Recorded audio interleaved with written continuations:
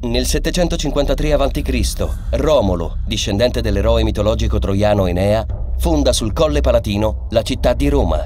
È il primo dei sette re che governeranno la città per i due secoli successivi.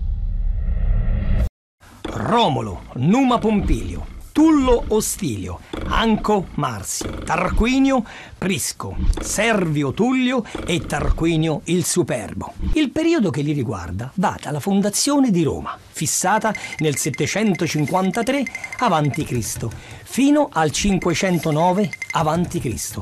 Sono 244 anni.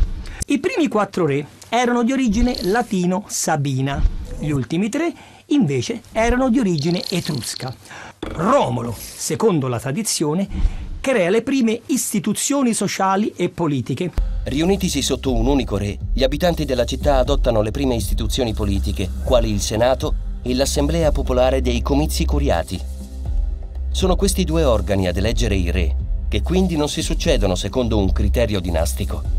Il della città, il primo re di Roma, fu Romolo che anche il creatore del Senato, in origine formato da 100 membri che erano rappresentanti dell'aristocrazia cittadina, e sempre durante il regno di Romolo viene istituito l'ordinamento curiatico, ovvero la divisione della popolazione in tre tribù chiamate Tizies, Ramnes e Luceres, e ognuna di queste tre tribù era divisa al suo interno in 10 curie, per un totale quindi di 30 curie che, una volta riunite in assemblee, avevano il potere di eleggere il nuovo sovrano, confermare il potere dell'attuale sovrano o deporre deporre il sovrano. Sovrano che ricordiamo avere potere politico, militare e religioso e a seconda di chi sarà a governare presterà più attenzione ad uno o un altro aspetto della sua carica. Secondo la tradizione, alla morte di Romolo va al potere Numa Pompilio, appartenente alla tribù Sabina. È ritenuto il fondatore delle istituzioni religiose.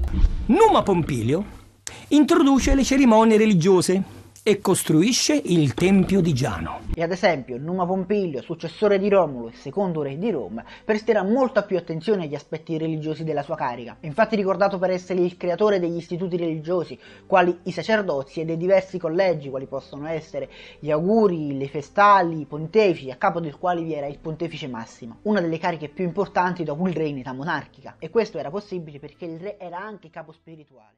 Tullo Ostilio conquista la città di Albalonga, trasferendone la popolazione a Roma. Tullo Ostilio è il primo sovrano ad espandere i domini di Roma oltre le mura della città.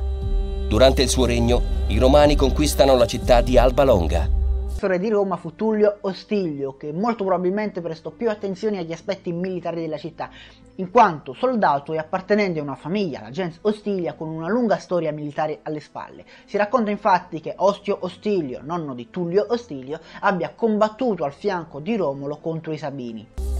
Il quarto re, Anco Marzio, si dedica alla costruzione del primo ponte in legno sul fiume Tevere, il Sublicio. A lui è attribuita la fondazione della colonia di Ostia, utilizzata come porto di Roma. Espande i territori romani tramite accordi con le città vicine. Anco Marzio conquista il litorale di Ostia, dando a Roma uno sbocco sul Mar Tirreno. Successore di Tullio Stilio e quarto re di Roma fu Ancomar, che prestò molta più attenzione agli aspetti politici della sua carica. È ricordato infatti principalmente per essere il fondatore della colonia di Ostia, e creare una colonia significa semplicemente creare un nuovo centro abitato con delle terre coltivabili, quindi fornire delle terre alla gente. Ma Ancomarcio non è importante solo per questo, egli fu infatti anche l'ultimo re di sangue latino e sabino.